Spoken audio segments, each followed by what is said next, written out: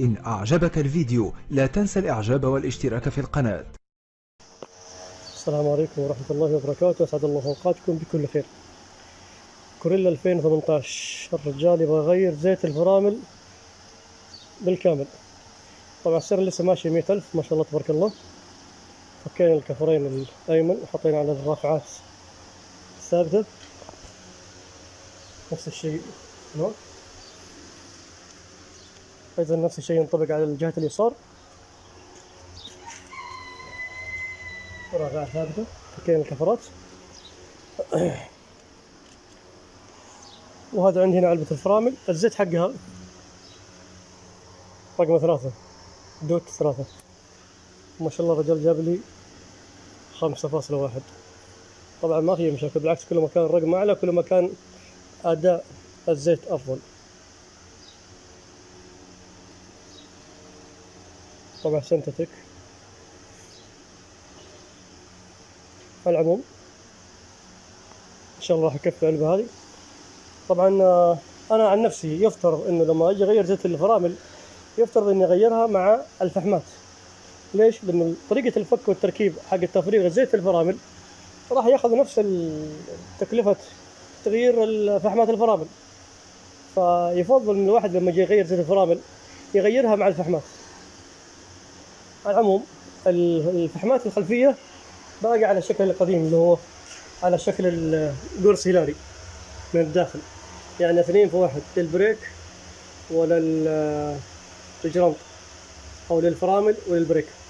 في أغلب السيارات الآن صار الفحمات الفرامل الخارجيه وال brake داخلي. هذا باقي نفس النظام القديم آه، اثنين في واحد. فعشان تفك ال hub لازم ترخي الجرامب بالكامل وتحط مسمار عشرة واحد هنا واحد هنا وبالتدريجي تشد من هنا وتشد من هنا على أساس إنه كل ما شديت كل المكان المسمار يدخل زيادة فيسحب الهوب للخارج. راح بعدين إن الطريقة التنسيم حق الفرامل أيضا من هنا. تنسيم الفرامل من هنا. أما الأمامية فهي نظام تقليدي لكل أغلب السيارات مع إني ما أدري أشك كل في الفحمات إنها تحتاج إلى استبدال عشان ما يكون الخسارة عليه. اثنين في واحد. لاحظوا الفحمات متهالكة. أو مستهلكة. فيفضل أنك تغير الفحمات راح أعطي صاحب السيارة علم. إن كان بيغيرها يغيرها ما بيغيرها أنا ما عندي أي إشكالية. أنا راح نضغط البستم للنهاية عشان عملية اللي هو تغيير زيت القر آه زيت الفرامل عفوا. إذا تستخدم أي زرقينة حتى لو ما عندك زرقينة تقدر تقرص البستم وهو راكب عن طريق القرص. لكن هاي الزرقينة مبتكرة حطينا مسمار لحمناه في القطعة هذه ونستخدم أي قطعة قماش قديمة عشان ندفع البستم هذا عندنا البستم راجع الوضع الطبيعي وضع التخزين. راح نطبق على الجهة الثانية. نفس الشيء طبقناه هنا. ضغطنا البستم ولاحظ برضه الفحمات. عندي هنا. مستهلكة. طبعا المفروض عندك اثنين مسامير لكن واحد يكفي. لاحظ الآن؟ ركبت هذا. وراح أستخدم الآن الدريل. لاحظوا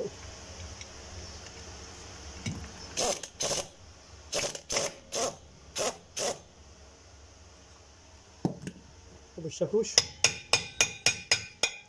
بهذا الشكل الآن. طلع معنا. بالدريل. يطلع معي.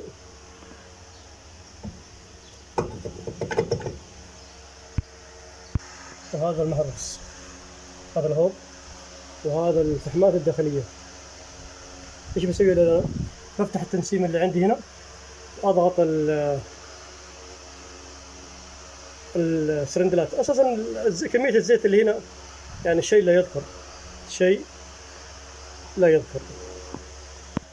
هذه السدادة حقت التنسيمة. طبعا هذا الآن بعد ضغط الفرامل أو السرندلات الأمامية لاحظ الزيت هنا ارتفع أول كان واصل هنا. هذا ضغط السرندلات الأمامية وصل لهنا. خلصنا من الكفر الأمامي ال- الخلفي الأيمن قفلنا السدة. راح نطبق على جهة الكفر الخلفي الأيسر.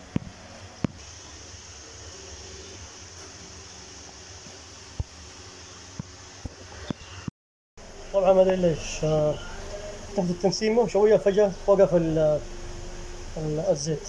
ما عاد واصل فاضطريت أستخدم التنسيم أو تغيير الزيت أو التنسيم عن طريق الدعس. فمعك هنا خوي يدعس وأنا هنا أفك وأشد اللي هي ما شاء الله تبارك الله تقول يعني ضغط التنسيم عالي فبديت باليمين الخلفي يسار خلفي بعدين بديت في الأيمن خلفي آه أيمن آه الأمامي. بعدين بدينا في الأمام الأيسر. وما شاء الله تبارك الله. طبعا الزيت أنا ما عبيته full عبيته على max. وبرضه ماكس يعتبر فل لأنه الان عنده الفحمات ناقصة. فبكرة لو يغير فحمات جديدة راح يزيد معها الزيت. أيضا غسلنا الموية محل الزيوت. محل التنسيمات عشان ست الفرامل ما يبقى لنا أي أثر. هذه كلها الآن عندي غسيل موية.